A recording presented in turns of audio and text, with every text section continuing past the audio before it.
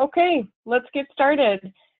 My name is Lydia Brinkley. Thank you everybody for joining us today for the Stroud Riparian Buffer Training. Sorry we can't be in person, but I think we're getting a little bit of a different audience now that we're providing this um, half training online.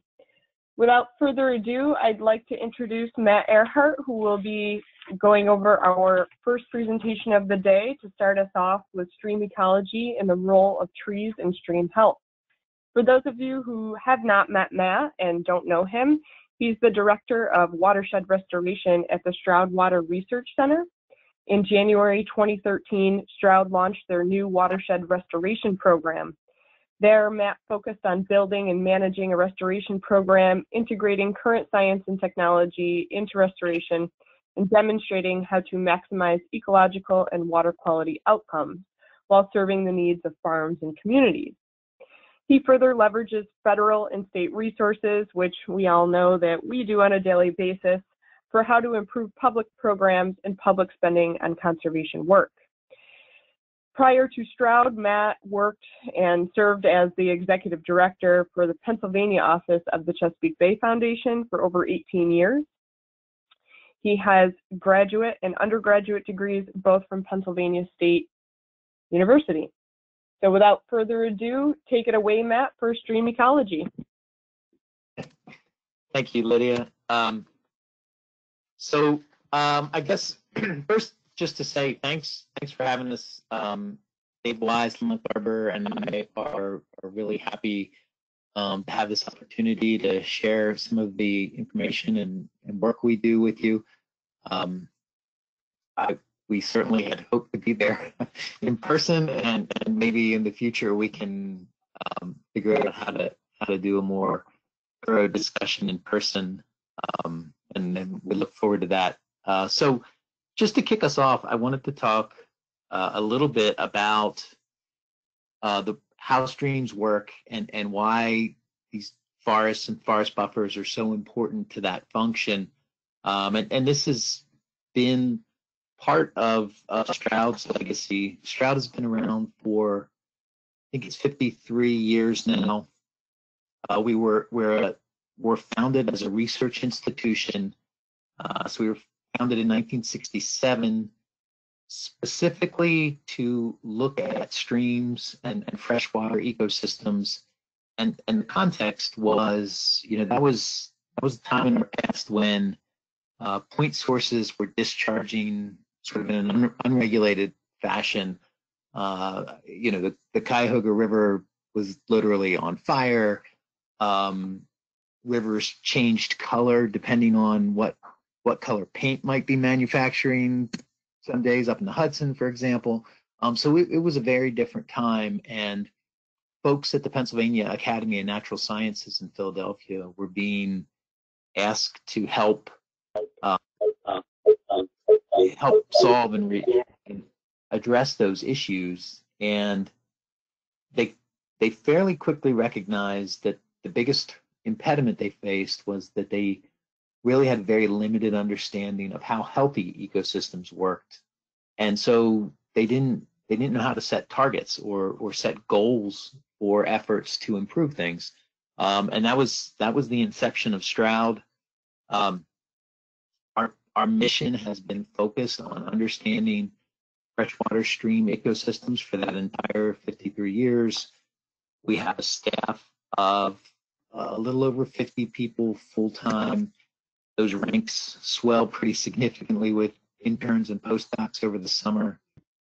Um, and Stroud has a, a education center um, that, that works primarily with uh, with middle and high school students. And then, as Lydia mentioned, we started a restoration program at Stroud in, in 2013.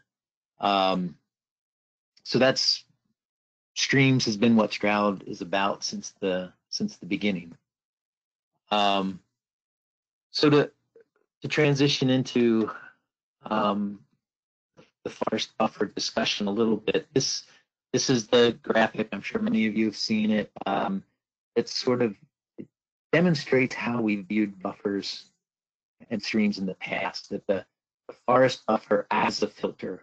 And uh, basically the, the understanding of water passing through that filtration zone, and primarily that's the, the organic matter and the microbial community up near the surface, um, and, and the buffer being able to filter out the things that we don't want to get into our water, whether that's nutrients, nitrogen, phosphorus, sediments, um, basically all the things we don't want there, including the things that come out of the back end of the cow, um, the nutrients, the solids, uh, the things we don't like to talk so much about or don't think about but we can't see. Cryptosporidium, for example, buffers can be very effective at, at keeping pathogens out of our waterways. Um, turns out they're also fairly effective because of that organic layer, leaf litter layer in the in the buffer at trapping other things that we don't want to get into our water. Uh, organic chemicals like herbicides, pesticides are are typically down there, and then the microbial community can get a chance to start eating them. Um, there's a lot of research on the effectiveness of buffers in this in this filtering capacity, and we know wider buffers do better. We know forested buffers are, are more effective than grass buffers. Um, lot lot of body research on a lot of the details over over time um, has sort of thrust the filtration values of forest buffers, you know, in, into the restoration realm is something we focus on quite a bit. Um, thinking about buffers simply as a filter, though, also raises some important questions that I think we're just now really wrestling with. Um, how do we buffers, if we're thinking of it in that filtering context, you know, how do we think about flow paths? And is it relatively more important to have better buffers in the areas of flow paths? Um, and perhaps conversely, what if those flow paths have concentrated flows? Does that marginalize the buffer's effectiveness in some ways? Um, and, and maybe the biggest question, uh, particularly in an ag context, is if if we can do a better job managing our uplands, how important is the buffer? If, if we are maximizing soil health considerations and minimizing runoff in any context, um, what's what's the relative value of buffer in that context? Um, so Lydia is telling me I'm breaking up a little bit. Uh, is it Lydia? Should I try to call in on the phone, or is is it acceptable? Yeah, yeah. Let's. Uh, I would call in on your phone. That would probably be best. Okay. Um, let me try to do that. Sorry for the Okay, thanks. It's okay. Let's just take a two minute break. It'll just take a second.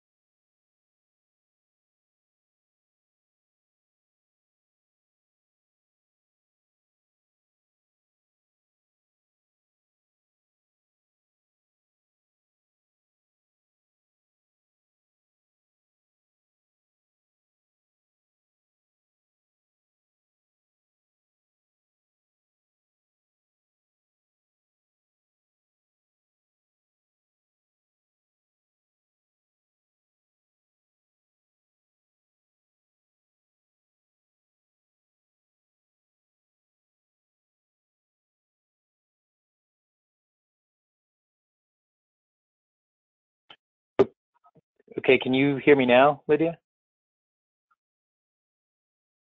Yes, and it sounds much better. Okay, great, great. Um, Yep. Okay, so uh, moving on. Um, so I think what we want to do for the purpose of, of this presentation is sort of recognize that those filtering capacities that we've always um, value, placed value on from a forest buffer there, and then uh, dive into some other things that we tend not to think about or focus on, um, and we talk about why. But um, sort of the the rest of the story, if you will. Um, maybe a, a, what's now an obscure reference to Paul Harvey, who's no, no longer on the radio. Um, so I, I, will jump in and um, so these are these are the outcomes or the takeaways, and I I want to give them to you up front so you can think about them a little bit as we as we go through a discussion of why why this is the case. Um, so forested streams process and remove significantly more nitrogen pollution. Uh, they have increased biological activity compared to uh, a healthy meadow stream system. Uh, they they also they have more bottom area, so they are on average wider for the same for the same flow than a non-forested stream. Uh, the biofilm is is the term we give to the the slick coating that coats the rocks in the bottom of a stream ecosystem, and stream ecosystem function really takes place on the bottom as opposed to in the water column, which, would uh, be what you would see in a lake or an ocean. Um, so the, the work is actually going on on the bottom. So the more bottom, the more work, and that biofilm is made up of microbes, algae, fungus that that do a lot of work for us. Um, forested streams have more of the preferred food sources for the critters in the stream, and and cooler temperatures through the summer, which is really important for a lot of our the components of our ecosystem. Um, so our initial work on this was done. Um, the paper was published in the early 2000s. The work was done in the 90s. Um, we researchers at Stroud basically looked at a series of sections of stream, adjoining sections that had forested and non-forested. And it's important to note that the the non-forested streams were um, they weren't degraded by heavy livestock use. They were either uh, healthy pasture situations or meadow situations. Um, this it's also sort of interesting to think about the timing. So this was this was pre um, discussion about buffers at a policy level. Nobody was talking about buffers when this was done, and this was basic sort of intellectual curiosity about how streams worked and how streams with trees were different from streams that didn't have trees. And you know the the non-forested portions weren't really viewed as you know bad or problematic at that point. Um, it, it was an exercise in in sort of pure science. Um, it led to this paper uh, which if anybody's interested in i think you can get from our, our website or one of one of the three of us can would be happy to share it uh, there's a lot of similar research done in other places. Um, probably notably, New Zealand has done a significant amount of research, and and then it's sort of gained steam since that, I guess. Um, so let's dive into how how they work, and and maybe starting at the bottom of the food chain or the food web. Um, where does the energy that drives the system come from? And if we think about the energy that drives most of our ecosystems, a, a forest or a cornfield or a pasture. Um, it's generally solar in nature. The, the sunlight is is what makes that whole ecosystem work. Um, and that's um, not the case for some interesting reasons in a stream. Now we do we can grow use sunlight to grow algae. If you see a, a non-forested stream, you might see a lot of this kind of filamentous algae. Um, that's typically not a good thing for a stream. And in fact, if we have a, a critter like this mayfly or or many others, they will wander around all that filamentous algae for days and days, and then they'll die of starvation because they can't they can't consume it. Um, in a forested system, we see diatoms uh, as as the sort of the plant food base in that stream. Um, so about 90% of the light energy from the sun gets filtered out by the forest and, and used by the trees. Um, so these these diatoms prefer that low light setting. They're the preferred food for a whole class of organisms called scrapers in our in our stream ecosystem. Um, but those diatoms are relatively small, less than 10% of the of the food energy that goes into a stream and makes that ecosystem work. So where's the rest of it come from? Well, a, a significant chunk does come from direct inputs to the stream from leaves and twigs and pollen, uh, branches that fall. And because streams tend to be the low spot in the landscape, they collect windblown leaves and other debris that might be that might be moving across the forest floor. Uh, so they collect more than their fair share. Um, but all of that organic input is still only about one third of the energy in the stream system. Um, just to, to do a little diversion here, uh, to think about that, that leaf litter, uh, there's been a, a, fair amount of research that shows that these leaves, once they get in the stream, they typically don't go very far. Very few leaves move more than 100 meters um, downstream, which may be a little counterintuitive, but so they block up, they tend to block up and, and are captured like that by, by rocks or large woody debris and become habitat and food. And uh, that the leaf is part of the food source. Uh, what typically happens is those leaves get coated with with microbes, algae, bacteria, and for the larger organisms, the macroinvertebrates in the stream, uh, it's a bit a little bit like putting a layer of peanut butter on a piece of bread. You know, the the bread has value, but it's really good with the peanut butter. Uh, so that's that's when they go to work and and attack these these leaves. And uh, to speak a little bit about the importance and diversity in these ecosystems. Uh, so if we take this one this one critter, a crane fly larvae, um, you can see the larvae and the adult form here. These are they they look like oversized mosquitoes with wingspans of maybe two or three inches. Um, the larvae are eating machines. They consume about five times their weight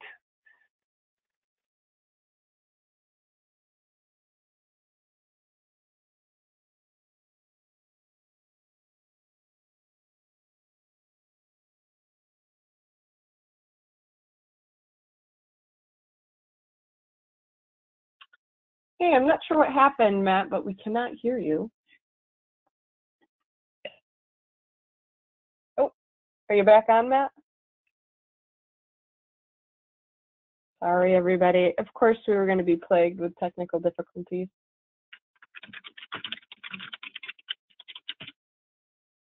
Let's see what the issue is.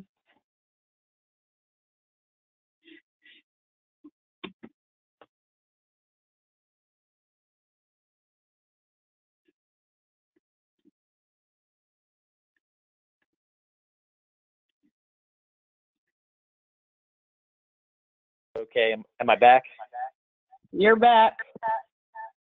Okay. We we um, lost you back on the previous slide. Uh, so, do you guys have echo, or is that just me? Little, little just a little bit. I apologize. Um, so I'll jump back. You lost me here? Yeah. Okay. Um, so this is a crane fly, and the the larvae on the left eats about five times its weight in leaf material every day. Um, trying to figure out why I have so much. Yep, Matt, I'll just mute everybody since as though maybe somebody isn't muted. So I'll mute everybody and unmute you.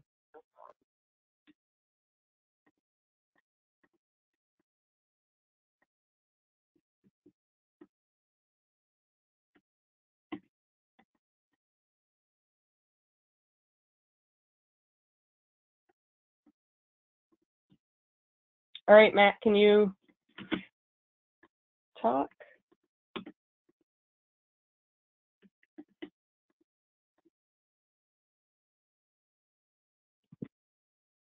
All right, Matt, can we hear you?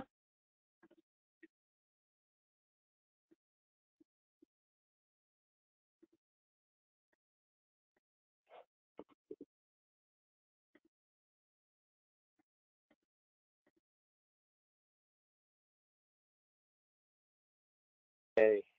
Am I back? I can hear you now, but I can still hear somebody else's audio. Can everyone please just make sure that you're muted?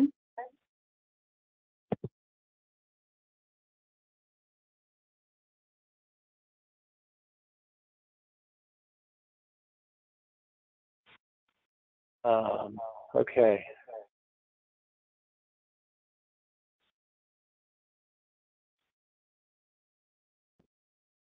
So the the crane fly um, eats a lot of leaves, um, and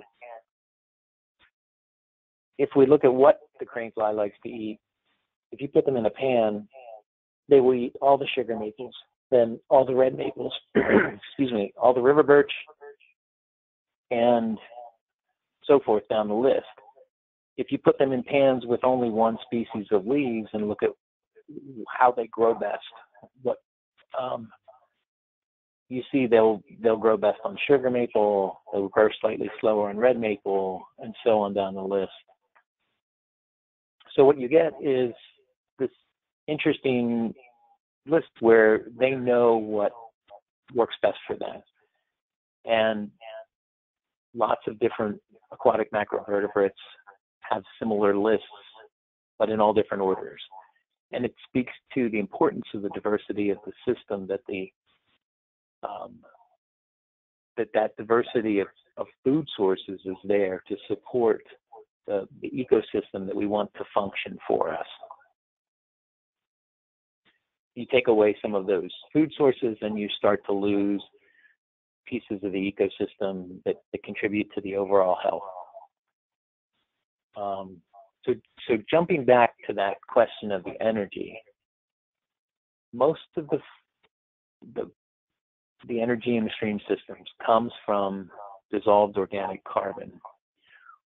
We we call that watershed tea, and basically just like the tea in a tea bag, water that infiltrates and percolates through forest soils comes out into the stream um, with with that dilute mixture of carbohydrates and proteins and amino acids and other other components that in particular the microbial community uses for food.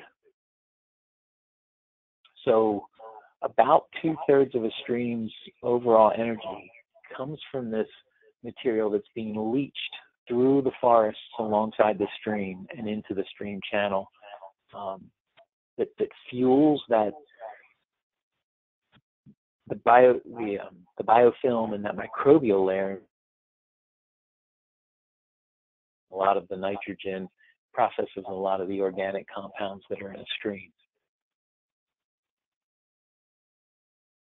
The dissolved organic material, the DOM, the and particularly the FPOM, the fine particulate organic material, is really at the center of the food web in the stream. Uh, so, so these forested streams, they have more of the foods that that the organisms in the stream need. Um, and, and they create this biofilm of, film, of stream habitat that's really critical. Forested streams also have those those reduced light levels, which the diatoms prefer. It's another critical food source in the stream. And interestingly, they have preferred temperatures, not just cooler in summer, which makes sense because of the leaf cover, but they're warmer in the winter.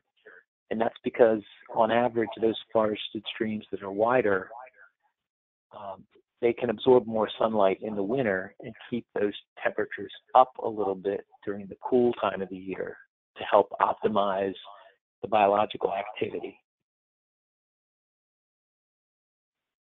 Um, so just to think a little more about this, um, that that temperature issue is really important for all of the stream organisms. And if we think about this mayfly in particular, um, and we look at how it grows in different temperatures. Uh, so we have this temperature, we can, or we can see this mayfly growth rate at, at 10 degrees Celsius, and 15 degrees Celsius, and 20 degrees Celsius. Um, at, at about 21 degrees Celsius or 70 degrees Fahrenheit, they all die. Um, you think about, well, what what kind of an evolutionary mechanism is that that you you do better and better and better and then you reach the edge and you literally fall off. There's no there's no downlight on the on the growth curve.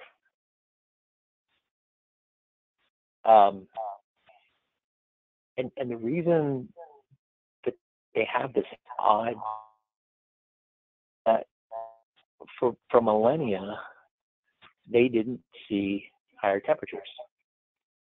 Uh, our streams were forested, particularly all of our small streams were canopy covered with, you know, minor and temporal impacts from forest fires and beaver dams and things like that. But in in in in total, you know, they were mostly forested, so they never saw those temperatures. Um, you think about what that means for the stream, you start to hit those higher temperatures and you lose whole classes of organisms very quickly. And that, that upsets the overall food web in the stream. Um, particularly this bottom area. And the losses aren't just limited to organisms like fish and macroinvertebrate with higher temperature. The, the algae and the fungus those other microbial pieces of the stream community are also impacted. Um, so jumping back to the width issue um, that we mentioned earlier, this is a stream, a farm in Chester County. Um, this, this one you, you can jump across, a um, few feet across, um, fairly deep, going through a pasture. If if I turn around and face upstream into the forested section, you see this.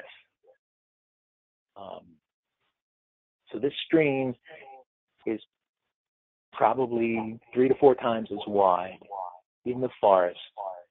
Um, it's not it's it's shallower overall, but it's not uniformly shallower. So there's a lot of habitat diversity, deep pools, shallow riffle runs, um, a much more diverse ecosystem, much more bottom area for that biofilm, which is processing nitrogen, processing phosphorus, capturing particulates and organic compounds.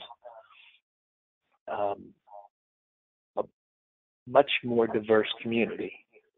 Um, and so, so some of this extra work we're getting out of forests and streams is just basic math. You have more surface area, you get more microbial biofilm, you get more processing.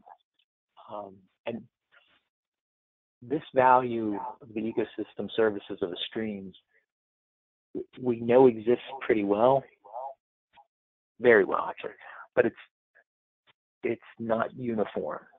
And because it's not uniform and easily modeled, this doesn't make it into many of our pollution reduction models.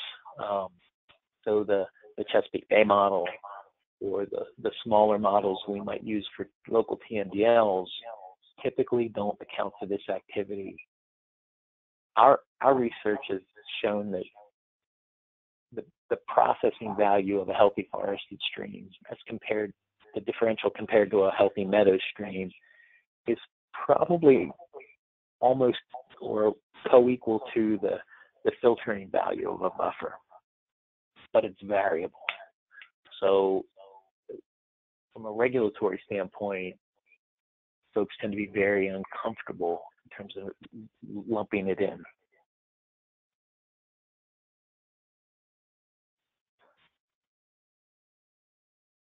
Um, so to just to reiterate the, the, basics that we gain from these forested systems, um, they're really significant in terms of our stream health, our ecological health, and the ecosystem services.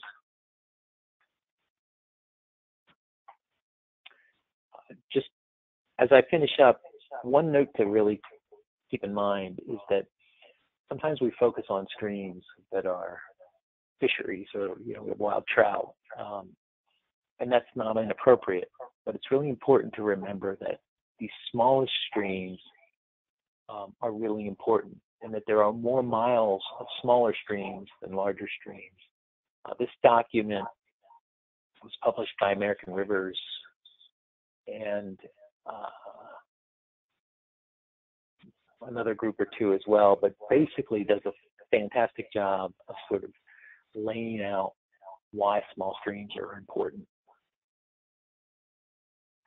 And the other thing I would just wrap up with is that when we're addressing stream impairments, um, our, our, models and our regulatory structures tend to be set up around phosphorus and nitrogen and sediment because those are easier to model, frankly, even if I would argue we don't do it very well all the time.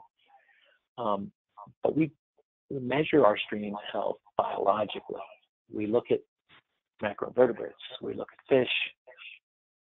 And when you're thinking about about biology, there's a lot of things that are important besides nitrogen, phosphorus, and sediment. Temperature in particular, habitat, hydrology. And, and if we lose track of those ecosystem components as we chase reductions in, in phosphorus or nitrogen, uh, we, we will be less than successful in, in improving the ecosystems and delisting our streams.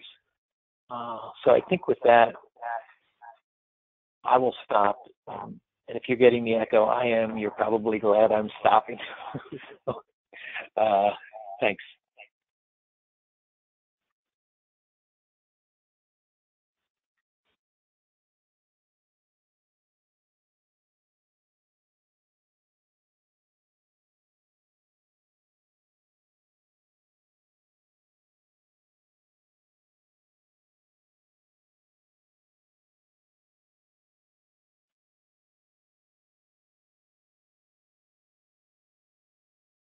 Um, Lydia, back to you, or you want to have any questions or move to a break?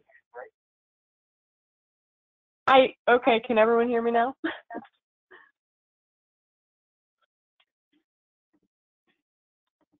So Mike Lovegreen says, the stream width tends to be in forest as opposed to pasture. My experience has also bore this out. Is this true or studies demonstrated in areas that are not historic agriculture, but rather historic meadow or prairie? So, so studies pretty broadly have borne this out. Um, even even prairie streams tended to have the concentration of, of cottonwoods poplar forests that that made this the case even in the prairies. Um, you know, beavers created a lot of dams through Pennsylvania, and and so there were always sections that were that were changing and evolving based on the beaver dams. um, I, I do think it's it's probably important to note that as as the slope gets higher and as you get further downstream into bigger and bigger water, the hydrology becomes the the most important factor in the width of the channel and shaping the channel morphology. Um, so that varies. And Mike, you know this with soil, slope, um, vegetation. Um, it, it's sort of a spectrum, but the more power the water has, the more the water controls the morphology.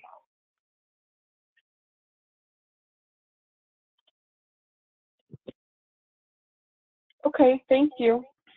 Any other questions?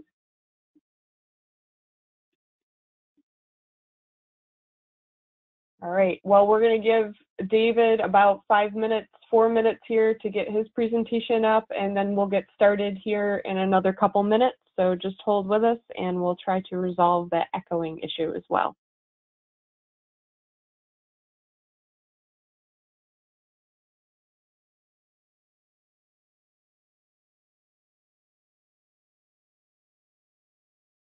Lydia, would you like me to dial in or try the on computer-based audio? Well, based off of what happened with Matt, I think you should probably dial in.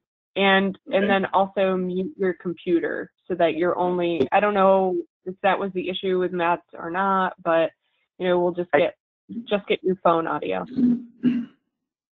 I think that was my issue, Lydia. I I could not um, get to my audio controls while my PowerPoint was up, though. So I'm not sure what happened. I think it was worse on your end than ours. Okay. Because we're, you know, now I'm talking and I don't have it. So Dave, you might want to m- make sure you turn off your computer audio before you get dialed in.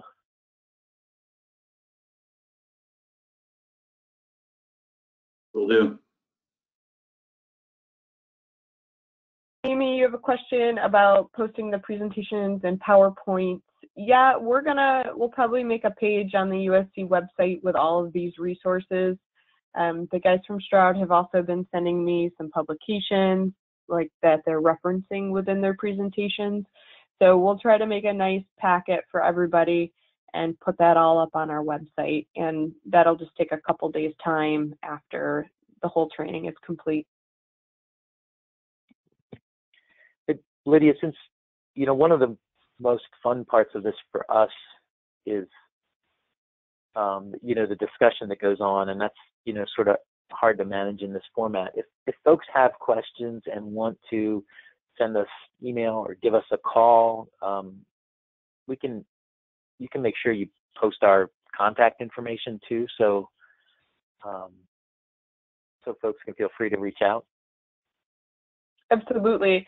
And it would be great if we could continue some sort of forum, even if it was for a designated amount of time, but that that would be something I'd have to explore how to do something like that. Since you guys are such a great resource, it's it's nice to be able to have this dialogue with you, even though it's difficult to do it in this platform because of our technology, um, you know, hurdles. Yeah, my apologies again. That's it's okay. Like I said, I think it was worse on your end because you were hearing it, you know, your computer and your phone.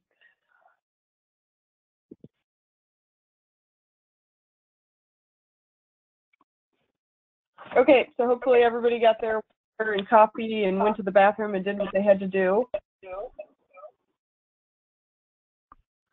Now I'm echoing. Okay, I'll be quick. So this next session is on forested buffer installation and maintenance as David describes this to me. This is just like the Stroud's prescription for installing and maintaining buffers. So David is the watershed restoration manager for Stroud Water Research Center. Most of his work focuses on setting up programs and partnerships to provide farmers with technical and financial assistance needed to implement agriculture conservation practices while building incentives for those farmers to install forested buffers. A more recent addition to Stroud's work is on soil health, taking watershed work beyond the riparian corridor to these production areas. So Dave also conducts research projects to improve buffer restoration methods. Uh, so prior to 2013, David did similar work for the Chesapeake Bay Foundation for 15 years. He has degrees in natural resource management from the University of Wisconsin and Penn State's College of Agriculture. So take it away, David. All right, and Lydia, if you just want to confirm that you're hearing okay over the phone, I'll, we'll go on from here. Everything sounds good to me. Great, excellent. Okay, so buffer installation and maintenance all in one approach, and I, I say one approach because I think there are many approaches that can work.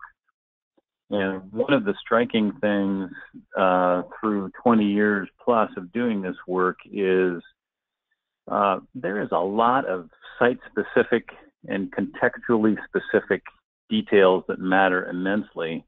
Uh, so I want to be careful about that uh, from the outset. Um, that uh, you get a, a, clear sense of what my context is. So we talk, we'll be talking about Stroud's typical methods. Uh, those methods may be about the shift. You'll hear more about that later today as I talk about our dabbling and uh, more than dabbling in uh, stone mulch as an alternative to herbicide work, uh, herbicide use uh, for protecting young trees. So our context is, you know, most of our on the ground work is in southeastern Pennsylvania, Berks, Chester, and Lancaster counties, uh, primarily formerly pastured areas, a little bit of crop ground, not a lot. Uh, these areas are rife with invasives, everything from uh, Oriental bittersweet to mile a minute to Japanese hops. Uh, the climbing vines are probably our worst, our worst issues. Uh, very rich soils, high fertility, um, and growing season conducive to a lot of a, a long growing season conducive to a lot of growth. And we have issues with some of our faster growing species that they actually grow so rapidly in these conditions that they wreck themselves, that their stem girth is not able to support their canopies. So you folks in New York, in particular, uh, with soils, fertility, and climate, and and uh, growing season differences. Uh, so just be advised that some of these contextual differences may matter, uh, and I can I can share from my direct experiences, and um, you'll have to have to make some translation. So most of our work that we do, uh, the, the strong majority by far is with container seedlings, and we've settled in on these uh, as much for the length of the planting window compared to bare roots, which is quite limited, uh, as anything else. We work with contractors, we work with just a few contractors, and we need them to be available. Uh, they need a long window to get the acres done that we need to have them do. We have found that the uh, containerized seedlings uh, seem to show a better drought tolerance if we do get a really dry spring. Um, and they really do take off rapidly. Most of our trees are emerging from the tree shelters, five foot tall tree shelters, if not in the first season, certainly in the second season. Um, and I uh, just came back from my cabin in Sullivan County, and I'm looking at tubes that just now have trees emerging that I know are eight to ten years old. So it it is really different, even just as far north as Sullivan County in Pennsylvania. So uh, container seedlings are more expensive, but it's still only about 20% of the project cost in the manners that we do them. We're putting in about 125 to 150 uh, tubed plants, and then we do put some shrubs in the mix as well. Um, how to get them in the ground, I think there's a long list of ways that can work from shovels to augers to dibble bars. Uh, Bern Sweeney did some research early, and it didn't really matter in terms of growth and survivorship. Um, we've settled in on a six-inch auger on a track-mounted machine, um, and that's that's been a good formula for us. Um, most of the failures that I've experienced and I've seen others experiences are due to poor maintenance. So it's far less about planting. It's much more about planting with maintenance in mind. Um, so we're using five foot shelters, um, and those tree shelters uh, are critical to helping us know where trees are, to protecting them from uh, deer browse and from buck rub, uh, protect them from herbicide use as we do our spray applications We use a center hole net method pictured at the right. It makes about an inch to an inch and a half diameter hole. Pull the bird net down so that there is a small hole, giving the, the tree a chance to get out of there. Um, over compared to the tassel method. And unfortunately, bird nets get neglected, and uh, this can really uh, lead to a lot of twisted up tree leaders that are long-term damage.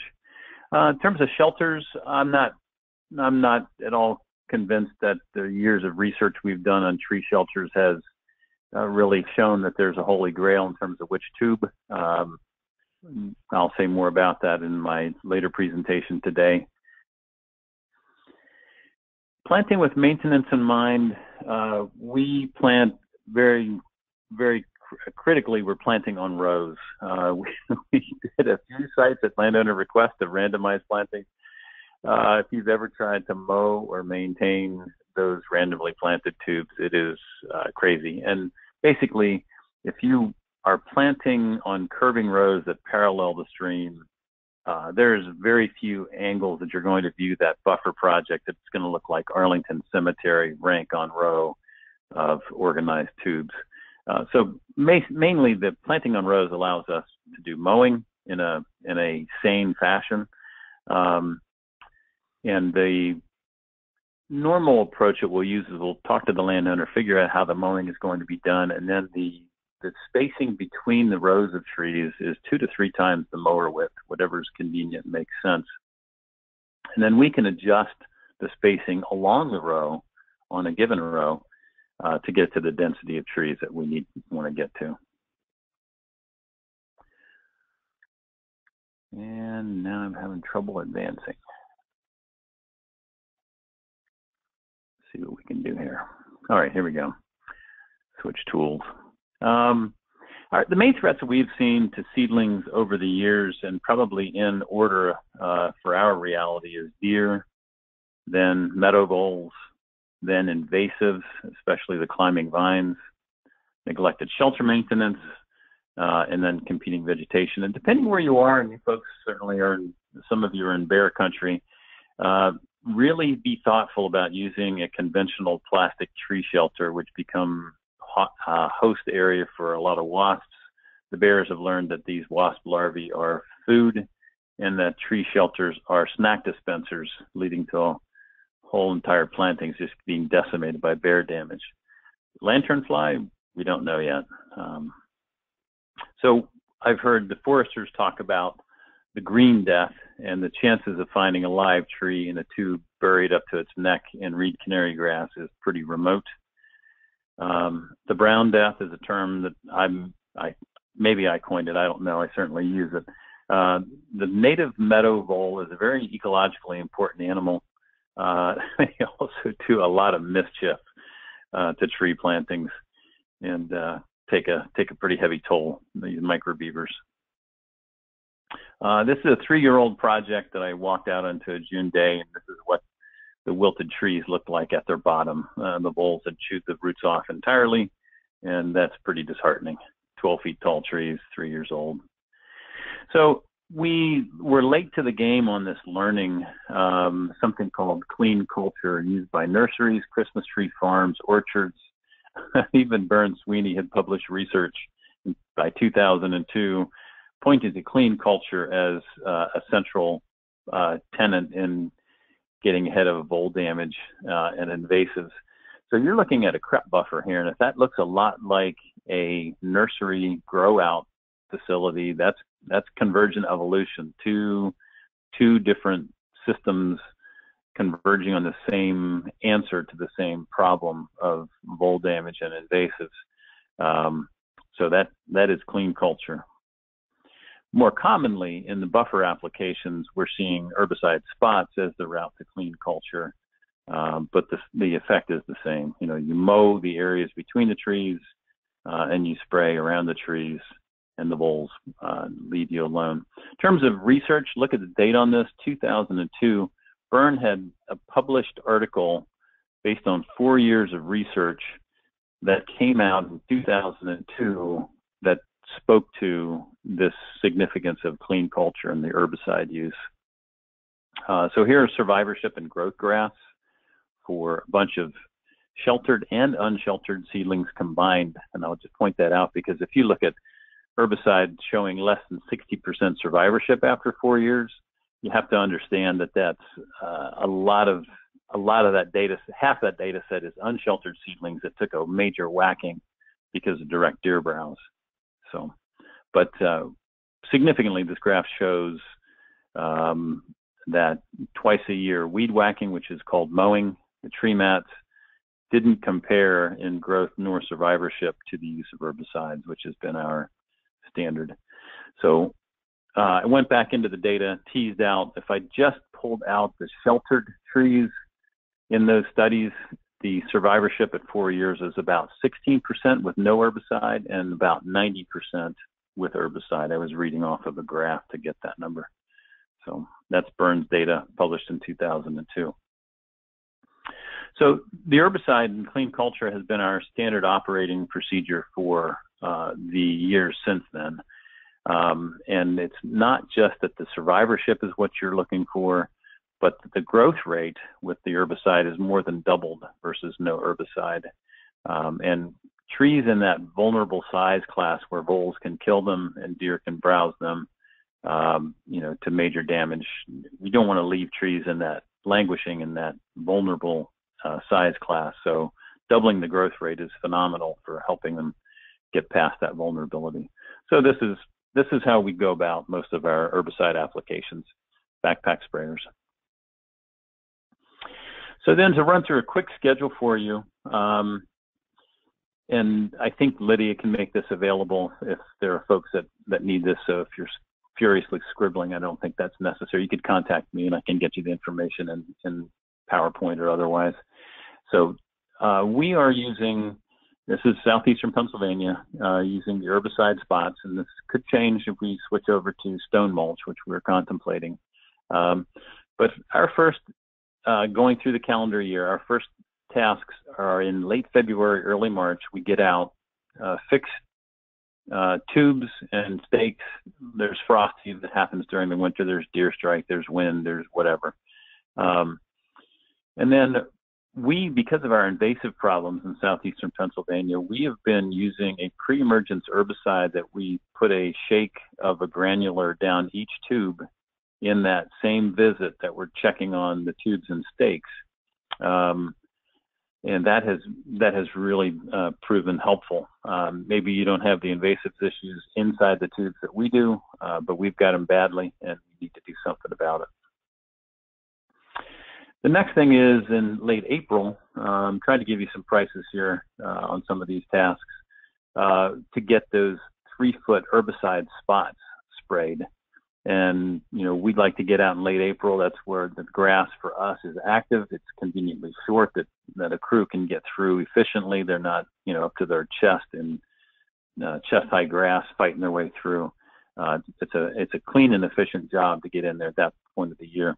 While we're there, we're also removing the bird nets from any tubes if the tree is within a foot or foot and a half of the top of that tube. Uh, by May, uh, we're looking for our first mowing. Uh, we try to get landowners to do that. It's expensive. If we have to hire to a contractor to mobilize and get out there, that's expensive.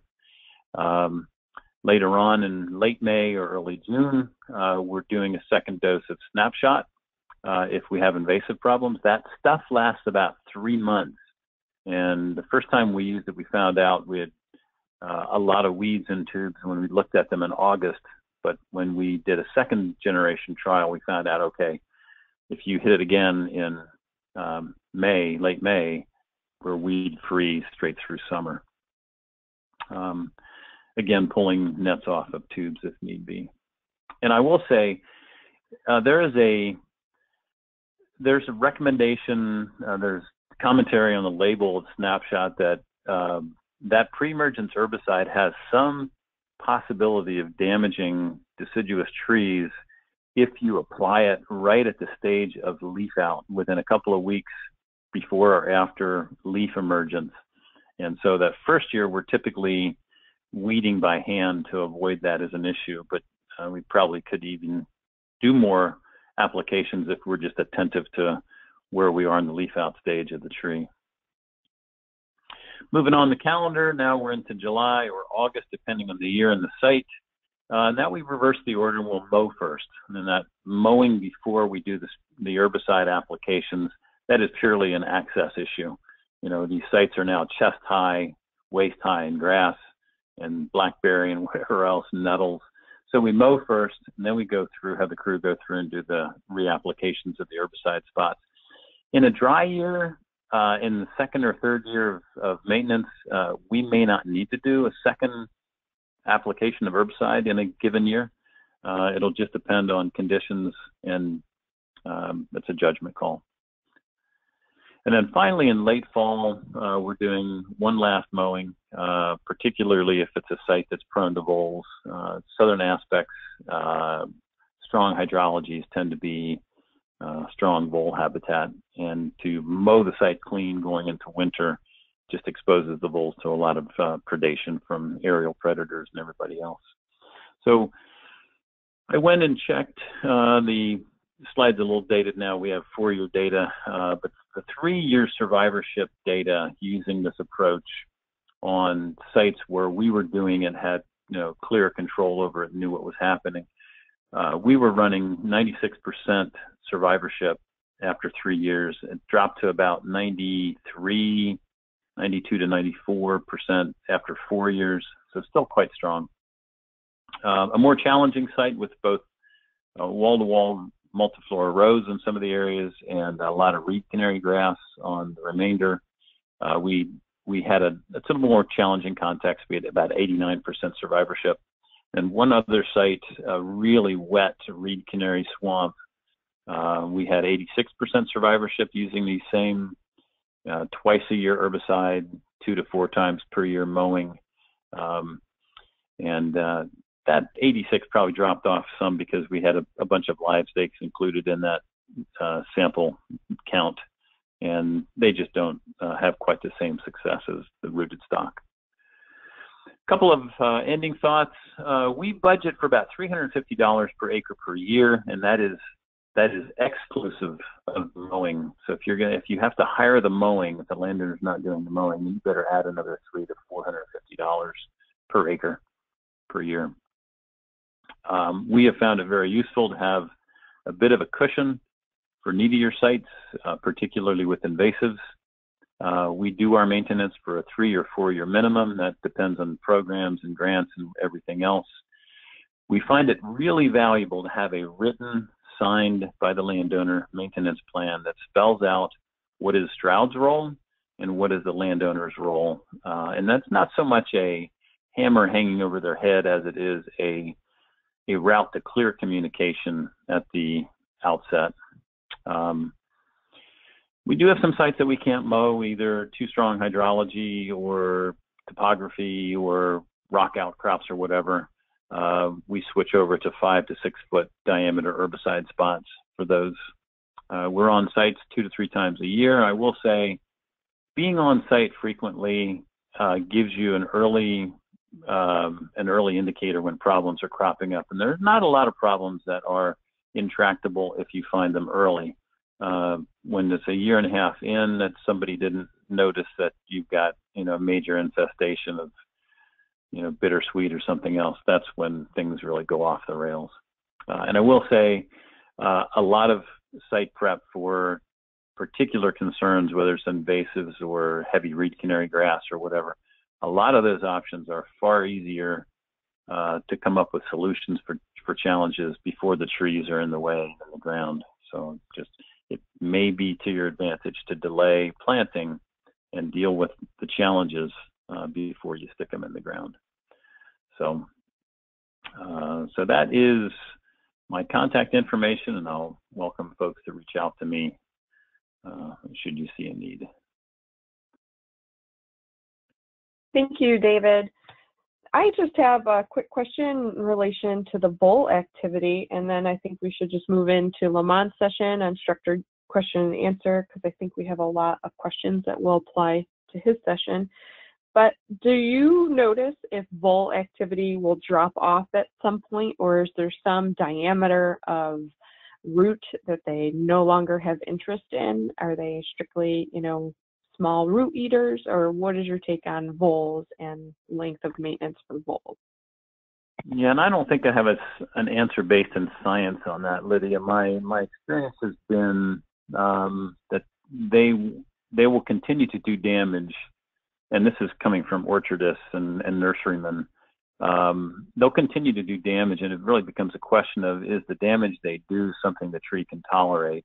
And I was I was crestfallen when an orchardist told me uh, yeah, voles can kill trees up to about five inches in diameter. It's like you've got to be kidding me. Uh, so uh, they're they're a challenge. Uh, they're ecologically really important, but man, for reforestation in these riparian areas, they are a besetting challenge for sure. Uh, so I don't know that they go away ever. I don't know that their damage to stems and roots goes away ever. I think it becomes far more of an issue of what can trees tolerate based on size.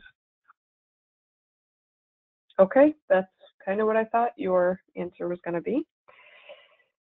All right, so let's just move right on, and I'm hoping folks will chime in with questions at this point because we're going to move on to our structured question and answer with Lamonte Garber.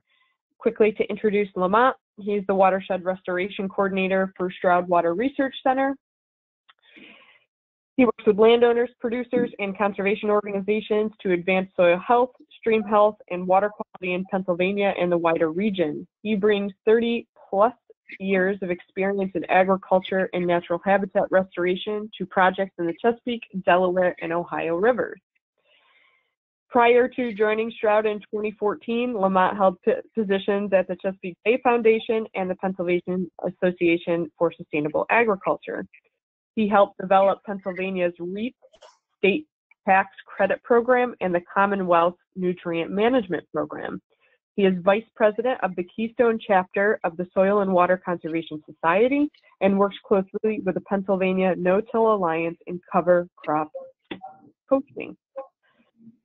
He has degrees from Penn State University, Goshen College and Nairobi University, and he currently resides in Lancaster. Lamonte, I'm going to make you the presenter just in case you have something you want to show. Um, but I think that, first of all, we want to start off talking about landowner priorities with pollinators. And our first question was um, related to our experience with herbicide and maintenance applications as it relates to beehive colonies. Good question, Mark. Yes, uh, great question, Mark. Hello, everyone. And Lydia, are you hearing me clearly? Yep, I hear you fine. Okay. Um, and uh, before getting to Mark's question, I just wanted to make sure everyone saw my response to Amanda's question that she asked in the chat session. Um, and that is that uh, the question was about um, the planting layout of our buffers and should they be straight rows or can they be curving uh, parallel to the stream and um, I don't know exactly how what you're responding to Amanda but yes our our preferred approach is to um, basically lay out our rows following the stream meander if possible um, and but just as long as we're maintaining uh, rows in ways that are very clear, continuous mowing alleys. Um, we really want to lay these things out to make it as easy on the whoever is going to be be mowing as possible. So straight rows in the sense that they're they're laid out for mowing ease, but but by all means they're going to look better and and there are some other advantages if they follow that meander. Um, also, getting to Mark's question about uh, herbicides, a couple of things to, to, talk about there. First, um, we are, when we're on a site uh, where herbicides are being used, we are generally talking about uh, aquatic approved versions of glyphosate. So not Roundup, but the active ingredient that's in Roundup, glyphosate uh, we're generally not, at least in our sites, using an additional pre-emergent herbicide. They work quite well to extend that period of time for a weed-free zone around the tree, but Um, they're they're tricky to do. You really have to get the rate right in order not to harm the tree itself. And so we're generally just using glyphosate. And um, so first, uh, it's important to realize that there are a lot of pesticides being used out there on the landscape, both in urban and agricultural uh, contexts that are much more toxic to bees and other insects. Uh, neonicotinoids in particular are, are under a lot of scrutiny for their potential harm on bees. That said, because of the ubiquity of glyphosate, uh, Roundup being used out in the landscape, um, there is some new research underway looking at perhaps the more subtle effects of glyphosate on, on bees and other pollinators. Um, so I think uh, all that's to say, you know, where we, these are chemicals that we'd rather not use. Um, we are using them in a very, very small fraction of uh, on a per acre basis of what is being used, particularly out on farmers' fields. And so I think it's your question mark is actually a much bigger one for agricultural production. Um, we are we're basically spraying spray circles that are three to four feet in diameter um, at about 150 to 200 spots per acre. Uh, so there's a, actually a lot of, of area within that buffer that's not getting any spray at all. But nonetheless, a lot of people are looking for non-chemical ways to control weeds and, and perhaps even more important, to prevent rodent damage, mice and vole damage to our trees that are in shelters. And that's, that's where our research, like Dave mentioned, on, um, on vole, on gravel mulch for voles could come in. We're very, very hopeful that it proves to be effective enough that we can either eliminate or ease off some of that herbicide use. So hopefully that answered your question. Uh, toward the end of the session, Matt and Dave will be able to chime in on, on some things that maybe I don't cover as well. So with that, Lydia, how about we see if there are any others? Oh, I see Amy's got a question here. If we can't, if we can't use herbicides, what strategies can be employed from prep to planting stock size uh, for maintenance purposes? So that um, that gets us to um, a couple of strategies that have been used to date, some without as much effectiveness as we'd like. You know, a lot of people, I think, hope that weed mats would provide that, that weed-free treatment uh, with non-chemicals. Um, and unfortunately, I think the both the effectiveness of that of that of those materials, those weed mats, uh, is is is only for a year or two. Uh, weeds really often start uh, penetrating weed seeds, and their roots start penetrating those weed mats fairly quickly. Perhaps even more concerning is the uh, potential habitat that those weed mats are providing for voles and mice themselves, uh, which is contrast that to gravel, which is a much less suitable environment for those uh, rodents to live in and around and chew chew around and so forth. Um, uh, so weed mats, I we are not recommending weed mats generally, although there are still some firms that, that are using them and, and I guess are still having some good good experience with those. I think that's something the rest of you can maybe chime in chime in with later. Um, we've seen other buffers where, uh, like the Rodale Institute, for example, uh, because they are organic only, they, they were actually tilling the ground up near their trees to provide weed control in a non-chemical sense. I think we'd be really concerned about that from the standpoint of clipping young tree roots. That really needs to be a very careful operation.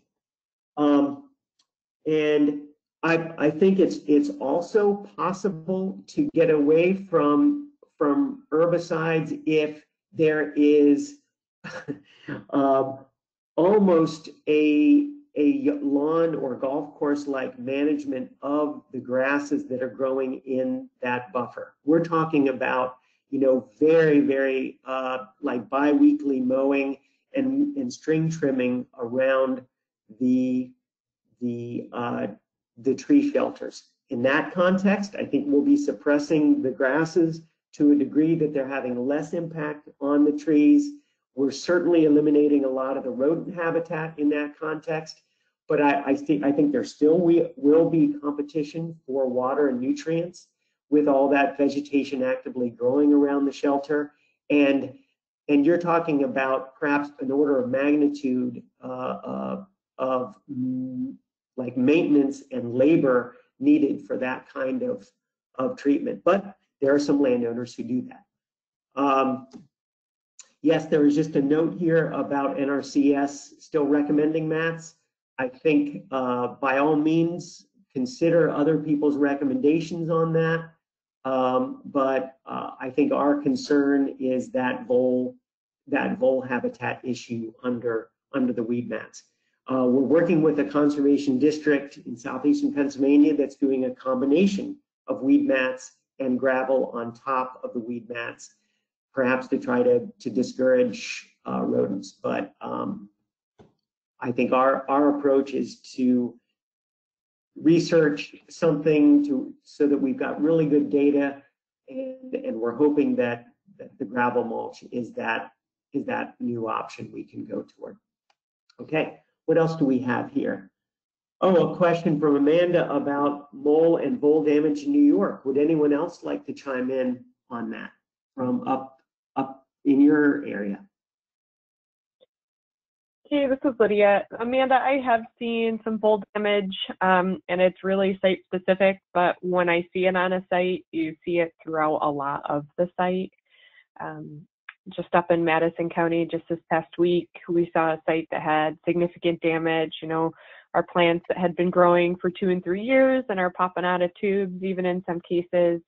We were really happy to see them, and then they're all dying. Why are they dying? Well, it turns out we ended up pulling them out of the ground, and they were very obviously chewed. Um, so, I have a question to to follow up with maintenance. I mean, obviously, you are still getting some death. And if you have so much death that it warrants a replant on the site, do you wait until a particular year that trees maybe will stop dying, or when would you plan a replant for a site? Or any information about that would be helpful. Yeah. Okay, so I I, I would have a two-part answer to that, Lydia. Uh, first, I think it's it's critical to I try and figure out what's causing mortality. Is it is it uh, that the the initial trees that were planted there were actually not the best adapted to that site? Were were they trees that prefer uh, well drained soils that were on really wet ground? Um, do you do do you have vole infestation at that point?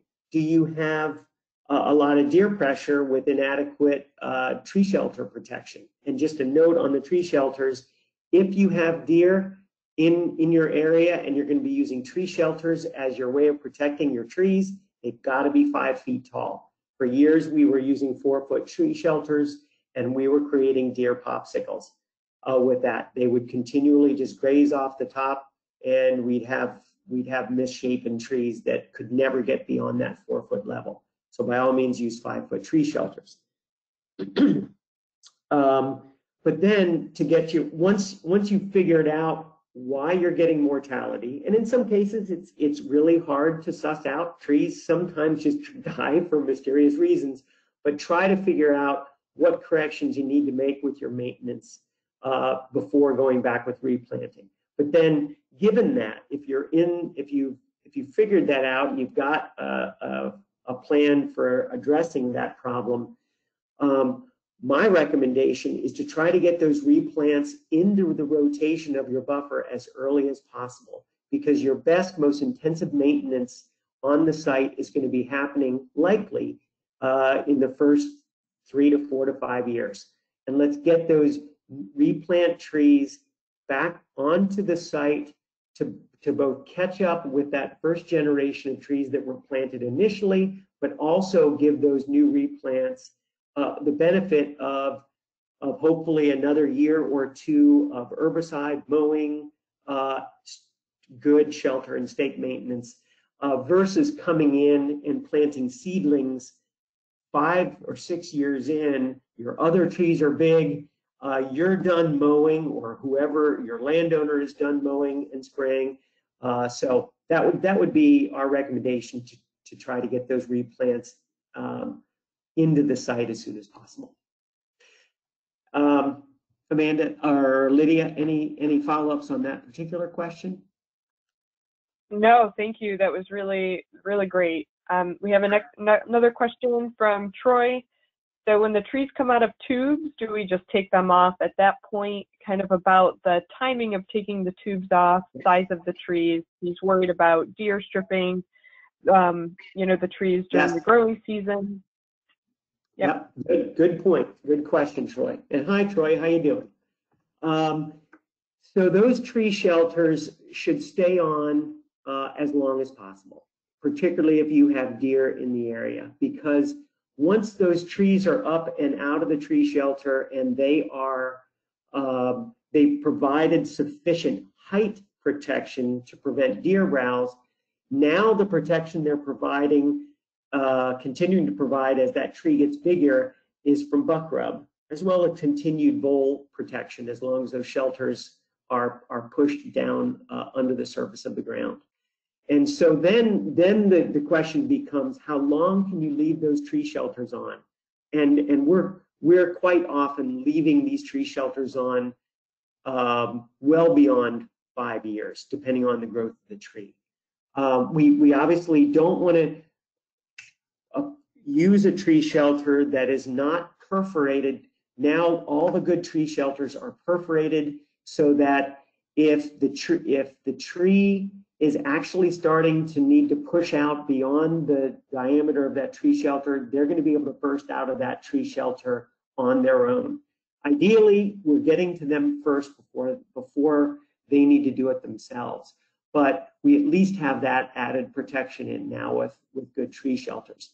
Um, so then the, the question just becomes, do you need to start removing those tree shelters once the trees are getting big enough, three, four, maybe even five inches, where the tree shelter may actually be causing some damage to the bark through such such uh, situations as a lot of wet leaves gathering at the base.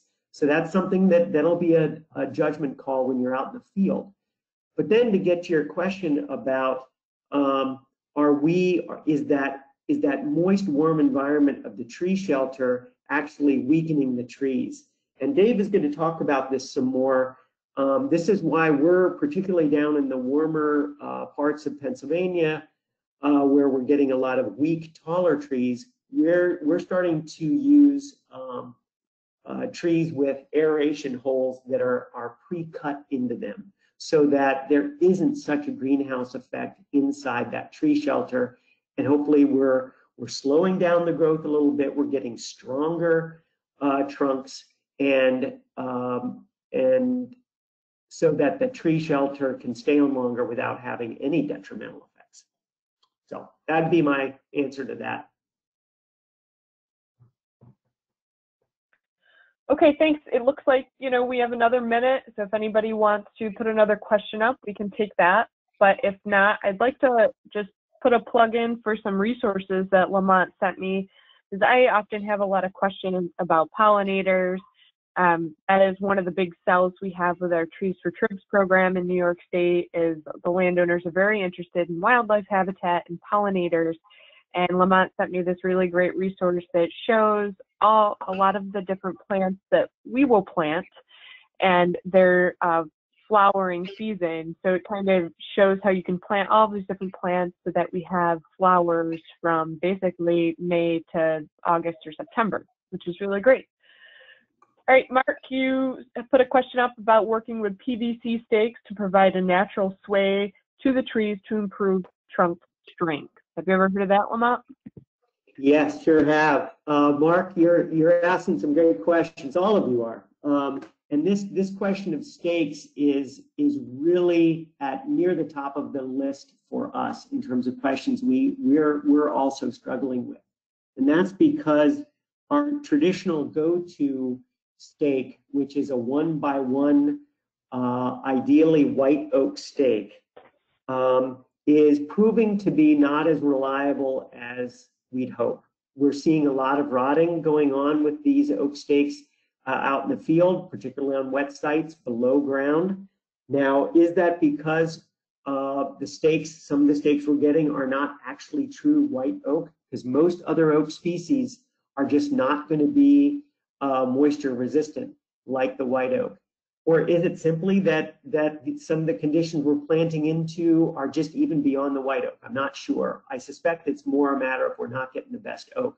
So we are looking at some other products. Uh, we're also, uh, we have not used PVC. I've seen one farmer down here in Lancaster County that used PVC stakes. We are looking at uh, primarily fiberglass stakes like Plantra uses and, and uh, also uh, pressure treated uh, wood stakes. Um, I was out in southwestern Pennsylvania um, working with some forestry people out there, and they they're actually using aluminum conduit, uh, a metal stake that is strong enough and yet won't uh, tear someone's arm off if they cut into it with a chainsaw. So I think we're actually at, at a point of learning right now. A lot of us are. Uh, I think we're looking at alternatives for stakes. I think the fact the the other issue you raise about providing some natural sway is, is also valuable. So uh, I think let's all stay in touch with this. You can be watching some of Stroud's research. Dave may be uh, talking about that in, in, one of his later presentations. Thanks. Hey, Lamonte. Lamonte. Yes. Yes. Uh, hey, this is Matt. I would I would just add to that. Um, excuse me. So we we work with some partners in New Jersey, uh, Nature Conservancy, and some local watershed groups that that do use um, PVC stakes. Um, I won't say exclusively, but but frequently for sure.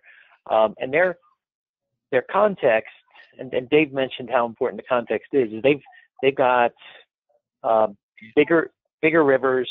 Um, these are non-tidal rivers, but they're fairly low, um, low slope systems. But they they come up and they flood, you know, easily three, maybe four feet above banks full a couple times a year, and uh, they've got a lot of reed canary grass in the floodplain. And what they're they're doing is is scalping a circle, maybe maybe four to six feet then they're using bigger stocks, so they're they might be planting one caliper trees.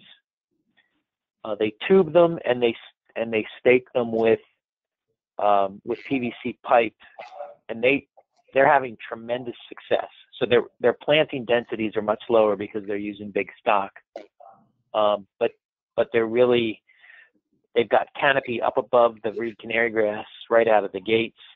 Uh, their system seems to be really effective um, at, at, being able to su- survive, you know, multiple flood events a year. Um, they do have sandy soil, so it's a little easier to drive those things in the ground and then have them to a depth where they can hold well. Um, but you know, we we've never done it, but it's working really well for them. Um, and I, I, I would just, you know, we we know what what's worked for us, but we're also really aware that different things are working for different people. Just to chime in here, we are, you know, at the at the end time. But if Lamonte, you would like to keep going, there are some questions that have jumped up, but I, that's totally up to you. Yeah, happy to keep going. If some people want to stay on uh, while others go eat, let's let's keep going. Yeah. Okay. So Beth, Beth asked a question about shrub protection, but I think we'll touch on that later during the one o'clock section with David, so we can reserve that question. But then Danielle asked about bird nets and their actual necessity. And we see, you know, a lot of harm to tree leaders. I know you guys recommend that, you know, half dollar size hole, but while that may have been what was installed, that's not always, you know, after some wind or whatever. Sometimes they creep up just kind of your take on bird nests would be really helpful. Yeah. So I'll I'll get started and, and Dave, just because I've been talking a lot, I'll I'll let you chime in if you're there and, and want to say some other things on any of the topics we've discussed. But Danielle, um, unfortunately, we really need the bird nets. Um, we have, uh, and I'll just, just give you an anecdote here. Uh, I was on uh, an Amish buffer, um, a buffer on an Amish farm. It was relatively young. This was probably five years ago. Um, I went through his entire buffer checking for nets, primarily because I was concerned about the leaders getting tied up in them. And uh, I found one tree shelter that did not have a net. And in that tree shelter, I found two dead bluebirds. Um, those bluebirds that are nesting cavity birds managed to find the only tree shelter in that entire planting that they weren't prevented from getting into. Um, that, that's just the most uh, glaring example, but I continue to find uh, bluebirds um, and other species, but primarily bluebirds in that are dead in the bottom of tree shelters that aren't adequately protected. And so that's that's why we're really trying to get away from the tassel method, which almost certainly is going to tangle the tree leader if the landowner doesn't get it off. And uh, fortunately, it seems like that that whole method that Dave showed really does prevent the 99% of the birds from from venturing into the uh, the tree shelter. So Dave, did you did you have anything you wanted to say on any of these issues we've been talking about so far? Uh, no, not in particular. Uh, one thing on the the tube tube removal, I will say we've got some. Uh, I would call it a hacked off science. We're we're doing some disciplined ob- anecdotal observations on about a thousand trees um, with leaving the tubes on taking them off when the tube when the tree gets to be like three inches in diameter at the top of the tube. And then the third approach is taking a case knife and splitting the tube top to bottom when the tree is about three inches in diameter, but leaving it in place to deter buck rub. So um, we'll we'll see, you know, a few more years till we have uh, till things have run their course with trees bursting out on their own to see, you know, whether there's really any any adequate basis in, in that sort of trial to, to, to recommend one approach over another. Yeah. I did uh, I did bring up a slide here that I think is a, is a good over it, well this this represents kind of how uh, we're approaching some of these wildlife and pollinator issues.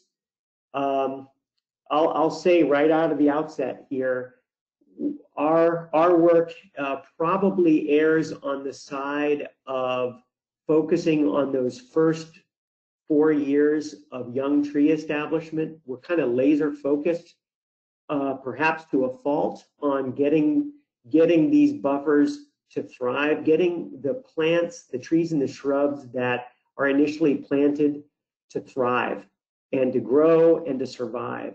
And so that that may mean that we we we have not looked as much as we should have to some of the later years of these buffers. And in fact, one thing that that uh, the three of us have been discussing is the need for us to get out to some of the older buffers that are doing quite well and see how the stream is responding to this new environment uh, of, of a healthy forest, or at least a healthy buffer. uh, the healthy forest question might might take someone to come along with us, perhaps a forest ecologist who can will be looking at the stream for changes. Uh, the forest ecologist perhaps could be seeing, okay, what is going on in this artificially planted uh, small forest? Uh, is it performing well? Is it providing the benefits that that the diversity of benefits we need? Are, are there some things we could be doing differently with buffer design? That could perhaps enhance the, the quality, the, the value of these buffers. I just wanted to give you here with this slide um, some, some thoughts about what we can do uh, with buffer design and maintenance to really enhance, hopefully enhance the pollinator and wildlife value of these systems. And first and foremost is to try to get as diverse a planting of trees and shrubs as possible um, which is good for a variety of reasons. I won't go into them. I think you all know uh, the, the value of diversity. and, and sometimes the challenge uh, on smaller buffer sites is simply being able to order in bulk and get enough diversity in your plantings. I think it'll take some creativity there. Obviously, oaks uh, are are perhaps the most valuable family of species of trees that are that are in our buffers for both for mast, but also what we're learning in terms of how insects and caterpillars and all the things that eat those animals rely so much on oaks um, or at least they're, they're a leading family of, of tree for those values. So that means pin, a lot of pin oaks and swamp white oaks because of the wet ground we're planting into. Um, I will show you a picture though of, of, some white oaks that are doing quite well on, on a wet site. Um, can, can we integrate uh, certain trees that we know are better for pollinators? And they may not be as highly valued by landowners, but let's explain the value and the need for pollinators and try to rotate some of these trees into our buffers. The honey and black locust, basswood, willows, tulip poplars, maple, um, and, and make sure we're getting some of those kinds of trees into the mix. Uh, we're, we're planting shrubs typically while we're planting trees, and yet shrubs, because of their different uh, form and habit, um, are not quite often fitting into the tree shelter maintenance that our program is set up for. So we've got to figure out how to, by all means, keep, get our trees to survive and thrive, but at the same time, make sure that we're not abandoning the shrubs to deer and the green death of, of grasses. So uh, because if we can get our shrubs to, to survive, uh, we're, we're enriching the pollinator value of that buffer right out of the gate because a lot of these shrubs have terrific flowering uh, characteristics that often uh, provide habitat and nectar for other for a diversity of native bees and, and Lepidoptera. Uh, finally, wider is better. Wider buffers are better, obviously, for the streams, but they're going to be better for wildlife as well. So let's really try to to find ways to to get wider buffers onto these farms, even when we have skeptical landowners. We've got to figure out ways to try to get wider. 35 feet is our minimum, but that's a bare minimum for what the stream needs and and certainly for wildlife. Uh, there's some very interesting research on how nesting is suffers, nesting success of birds suffers when when a buffer is so narrow that it doesn't provide enough cover for predators. Um, finally, the more that we can have connected buffers along a particular stream segment, or hopefully an entire watershed, um, the more valuable that that buffer along with its neighboring buffers is going to be. So uh, those are just some ideas uh, to try to address some of these other uh, wildlife and pollinator values beyond the water quality and stream health benefits we're getting. Sorry, that was pretty long-winded. Are there other questions out there? Well, Amy asked about climate change and species selection and maintenance. Do you have thoughts or resources that you use to address that? Um, other than to say that the best thing we can do on these sites uh, for climate change is to get really, really good tree survival. Um, and and if we could, if we can perhaps establish longer term contracts, perhaps perhaps even permanent easements on these trees so that we know they're going to be in place not just for 15 years, but perhaps 100. That certainly is going to help on the climate change front. Um, Conifers, because they are growing year round, generally are more effective at sequestering carbon than deciduous trees. Um, but we're, we've got limited tools with conifers. There's only, there's only a few that are approved for, for CREP. Uh, there's only a few that seem to do well with wet feet. And so uh, that, that's a challenge. But or perhaps we need to be looking at integrating more conifers into our buffers where we've got the soil conditions that can support them.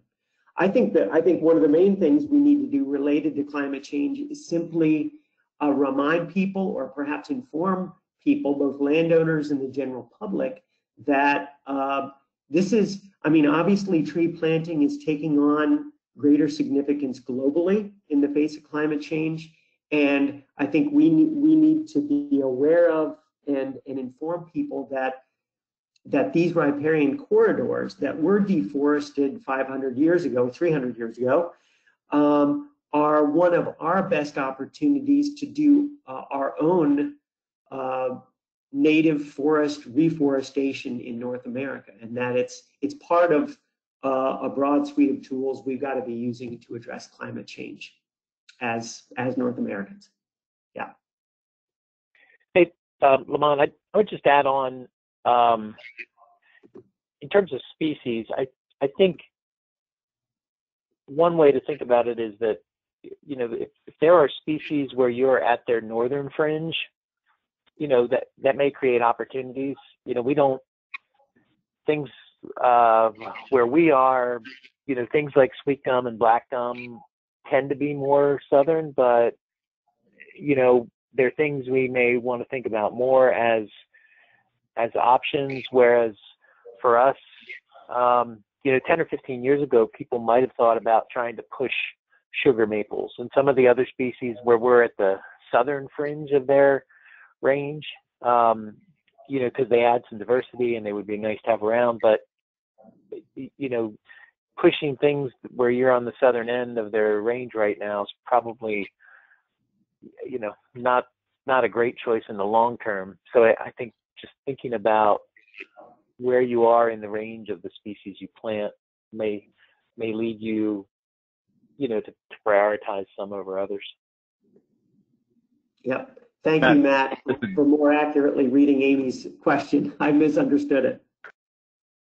Yeah, and Matt, I would ask a, question. Do we know whether the winter, you know, the the average winter minimums tend to be rising, but we get a couple of these cold, really cold polar vortices. You know, if we start planting stuff that's at the, you know, limits of its hardiness, is there any clarity whether we're not just seeing wilder swings period and could actually lose stuff that should be you know if if if uh, hardiness zones really are shifting northward um you know maybe we're still going to lose them because we get these you know a week or two of really bitter minimums i'm i'm just curious whether we know what winter minimums are doing yeah i, I think those those are good questions and that's why i i, I think well, I've heard people speak on both sides of that. Um, I, I would, you know, I wouldn't urge us to put, you know, bald cypress up in northern Pennsylvania, but I, I do think if you think about the things where you're, they're already here, but you're sort of on the northern fringe, those may make good sense um, to the extent that they're appropriate. Um, I, I do think, I do think trying to push species where you may be on the southern fringe of their range is is going to be more and more challenging because of hotter summers and um, that maybe one of the biggest impacts of of the shift in climate that we see is is the the, the expansion of the vines territory and greater problems with invasives.